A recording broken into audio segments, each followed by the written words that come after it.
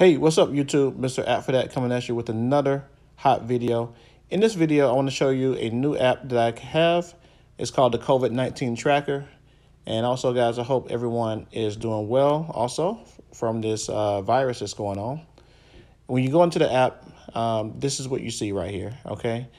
Uh, WHO is the World Health Organization. This is updated daily. You can see different regions and countries uh, as far as uh, infections and cases and everything like that. In China, they have it broken down by different regions.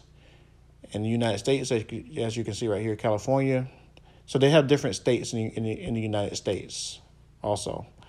On Down here also, you can see, see the infections on the map. I won't go into that. We know what the world looks like.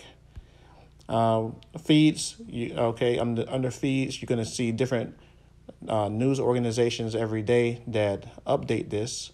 Uh, that is getting the tweets and different feeds from these organizations. So you can kind of keep a uh, kind of an up to date view on that. And also in the um, the last one is a chat where you have to log in, but you don't have to do all that to use the app. So anyway, guys, that's about it for now.